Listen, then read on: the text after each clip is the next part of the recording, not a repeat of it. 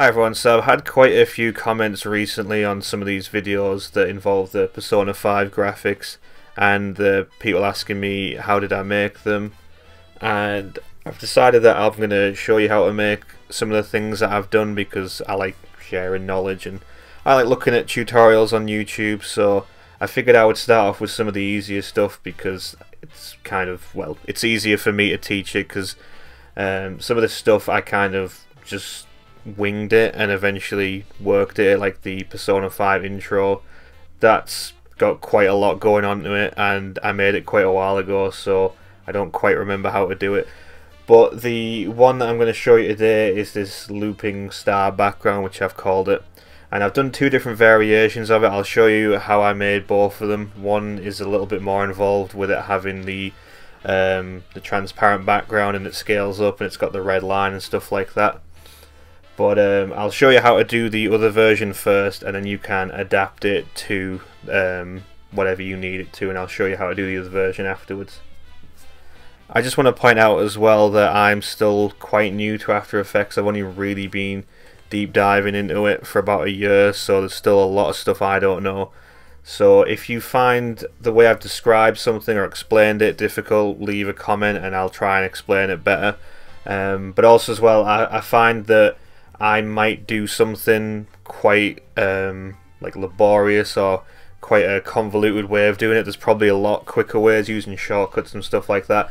But that's one of the things that I really like about After Effects is you can take something someone else has made, you can like reverse engineer it, or you can take just part of it and adapt it into your own compositions, which I find I do a lot of the time. I won't just copy something one for one or go through a whole tutorial. I'll only pick out a certain point of it and then adapt that to something that I'm going to make. So um, you might find that the way I've done something, the end product is what you want, but the way that I get to it might be not the way you would do it, and that's also fine. Alright, enough rambling on about that, let's actually get into the tutorial. So first thing, going to After Effects, new composition as per usual. I'm just going to call this one main comp because it's just a tutorial, I'm not going to actually be saving it. Um, your presets here, pick whatever one you want. I'll just go 1920 by 1080 because it's gone on YouTube. And then the frame rate, I tend to do a lot of stuff working with uh, match footage of football and rugby where I film it at 50 frames a second. So I tend to make stuff in 50 frames so it's a consistent frame rate throughout the whole video and stuff doesn't end up looking strange because it's like going from 23 to 50. You can change this to whatever you want. Um, depending on the look you want, 12, 15 frames can give you a sort of hand animated feel, which I have used. Um, if you want filmic, you go 23, 24. But I'm going to stick with 50 because the other thing as well is if you um, put this into Premiere and you want to slow it down a bit, it gives you more of an option um, rendering it in 50 frames. Uh, duration just going to go 6 seconds because, you know, again, you can just up this if you want or lower it if you want background I'm going to go, actually I'm going to go something a little bit lighter. That'll do. But that doesn't matter because um, we'll probably get rid of the background anyway when we're rendering it. So, first thing I did was I grabbed this file from the internet because this is basically what I wanted my finished product to look like. Multiple stars. Um, change the colour of it, but um, yeah, basically, I was going to say as well, I've got quite a lot of stuff here. I basically put everything into this one project file because I can just grab and drop things in. I realise it's messy, but it works for me. So anyway, I'm going to scale this up just so we've got the full thing. It doesn't actually really matter. You don't even need to use this reference if you don't want to. Now, when I first did this, I was daft and used the pen tool and drew a star. Then later on down the line, I realised don't need to do that because there is already a star tool in After Effects. So I'm going to drag that out. And if anything actually I can just move this out of the way because basically what I'm using this reference for like I say originally I used it to actually draw a perfect star shape that would be exactly the same as they used in the game. But because I've actually got the star tool here I'm really all I need to do is just have a look at how they've done the stars so they've got a star with three black stars, a black outline there, and then it's got three it would be white um, normally, but it's got three red inside it. So that's what we are going for here. So draw your star. You might have to mess around with some of these. So we want no fill, and the stroke with 25 is fine. You can lower this or increase it if you want. And I'm going to change that to black. Then we're going to press Control D, or you can go Edit, Duplicate Layer, and then we're just going to scale this down a bit. Now I tried putting on the snapping tool to do this and because of the shape of it, it kind of snaps to the wrong point so it'll kind of snap like you see now so it technically is doing the right thing but it's not what we want so I didn't bother using the snapping tool but you can try if you want. So basically because of that we're going to have to just eyeball it. Now, for the most part, it's not too difficult. If you zoom in to about there, you can see that there's no purple uh, pixels between the black and the white one. So that means that it's pretty much either covering it or perfectly intersected. So we're going to do that. So this is basically it. We're going to just keep duplicating layers and then moving them around a little bit. So I'm just going to fast forward through this because it's not exactly fun to watch, but you understand that you're basically just putting the layer down, duplicating it, changing the colour, changing the scale of it to how you want it, and eventually we'll come to a full star like this.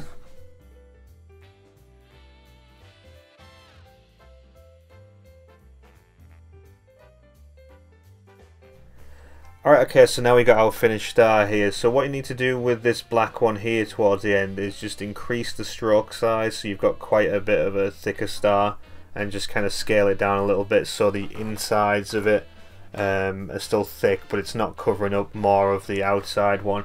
And then um, I added the fill here um, to make it black just again to make that um, thicker on the inside and then the last one, this last white one here, um, just made that fill white. So again, you've got a full star there.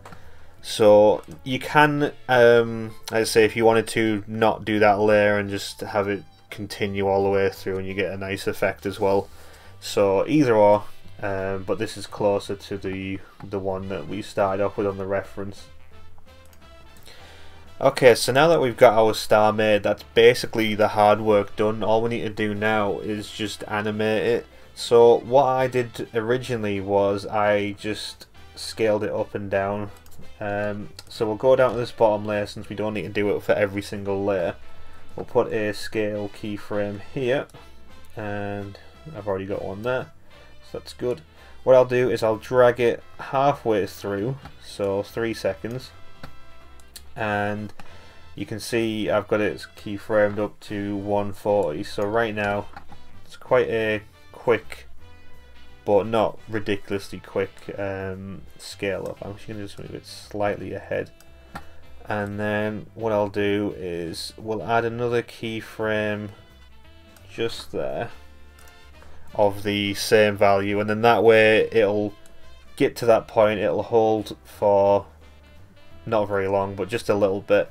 And then what I can do, get to 6 seconds here, we'll just call that the end of the uh, composition there at 6 seconds, and then I can bring it back down to 95. And then that way, you get expanding, holds for a split second, and then it scales down again. And what I'm also going to do is I'm just going to add a slight rotation, because I don't like it being just straight up it looks better having that little bit of randomness to it. So now that we've got the animation made, we can take these layers and I'm going to pre-compose them. We'll just call it star. And that way it's a lot easier to manage with the layers because you'll have six layers for every single star that you duplicate and it'll end up being too much. So same again, duplicate go to position and then we can just drag this out or drag it around anywhere we want. Rotate and scale it down a little bit. And as you can see it's got the same keyframes we don't need to mess around with any of that. And that's basically it so we just need to keep duplicating these layers and you can change them into the background. What I did was I had bigger ones in the background and smaller ones at the front because in that way you're getting the background completely covered but um, then you're also getting smaller ones at the front which have a bit more um, like sort of detail going on with them. Because the bigger ones you won't really see much of the actual uh, animation going on with them so I'll just scale this one up a bit rotate it just to make it a bit different uh, and that's basically it we're just going to keep doing this for the rest of them Depend on your PC you might need to um, have more, you might need to have less. If your PC can handle it, the more the better, because the more you have, the better it's going to look. It's going to look more interesting. Right, so there you have it. That is our finished animation. Like I say, you can edit this any more that you want to do. So you can add more stars, you can have less, you can uh, change the position and stuff like that. You can keep messing around with the keyframes if you want some of them to come in later, um, scale up slower and stuff like that. I quite like it just being uniform because it's got this uh, like pulse going on with it. So that's it for that one. But um, like I say, we can do the other version that I started with. So what I'm going to do is I'm just going to delete all of these just to restart it. So what I'm going to do now is I'm going to go back into our original comp, um, like not the pre-comp one. I'm going to hit U just to look at the keyframes and basically what I'm going to do is I'm going to set this to 0 and then set this end one to 0 as well and it's basically it's because it's got the same keyframes it's going to do the same thing but it's going to start from 0 so if we take the background away and do on this one as well so because we don't have a background on it, if we put an image there or if we put um, another uh, piece of video or whatever, as you can see there. So now imagine that this this is a video that you're working on. You could have the video end and then have this come up and be like an end screen for you or you could use this as a transition if you wanted to. So we're basically to do the same thing again. So we're just to keep um, duplicating them again just mess around with the positioning and your rotation and whatnot and yeah we're just gonna I'm just gonna fast forward through this and I'll show you the end result so as you can see here this is the finished version for this tutorial I won't go much further because it'll basically just be me duplicating layers and moving stuff so you can do it however you want. But as you can see, it comes in from zero, scales up quite big, and then they disappear again. So, like I say, you could use this uh, for a transition, or if you wanted to come in off a, like an end screen or something. You could even have it where they don't actually disappear at the end; they just come in from zero, stay around, and just scale up slowly. But um, yeah, this is what I did for that other version. And what I also did on that was I made a new shape layer. And I'm going to put this all the way at the top. And I basically just added a pen tool that I'm going to change the fill down to zero. I'm going to change the stroke to bright red. And we'll see how 43 is looking. Okay, After Effects is really not liking this at the moment. So anyway, take the pen tool and we're just going to draw a zigzag line through our composition. And this is quite similar to what they have in the game. So you want it to be quite jagged. And I'm going to have it get really jagged at the end here. And then I'm going to have it just go off. And it's quite thin there, so I'm going to stretch this out a bit.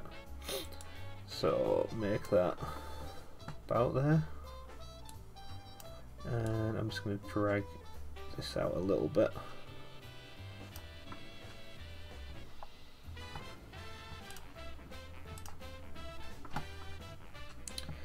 So that'll do for now. And then what I did was just simply add a trim path to it. So we're going to trim path. And we'll have this come in around one second. So change the end to zero here. And we'll have it be completed there.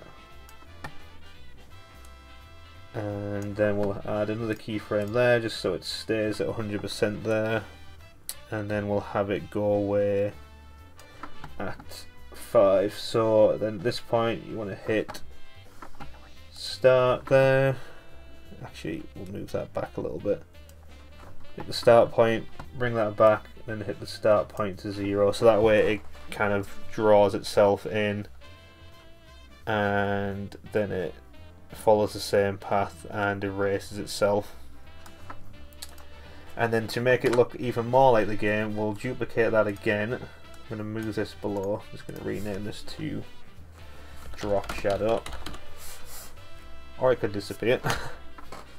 and I'll change this to black. And then we'll hit T on there and we'll drop the opacity down to, we'll try 60. So then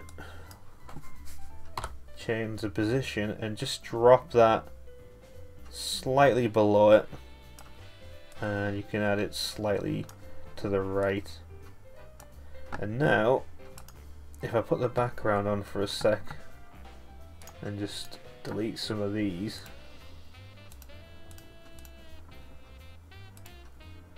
Well you can see there so it's got a well, basically, yeah, like a drop shadow, and it's running at the same time, so it should come out and look quite um, realistic. So you can see there, it looks like a reasonably good drop shadow. If you wanted to, you could um, stagger this just a little bit, and that means that it comes out slightly slower. And uh, you can play around with that. So that's basically the composition finished. Um, I would say just kind of play around with it in your own version, and you'll probably do a better job with the line than I did here. But let's say that's basically it.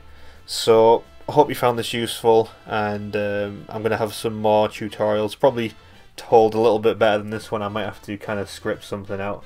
But anyway, thanks for watching. I don't have an ending, so yeah, bye.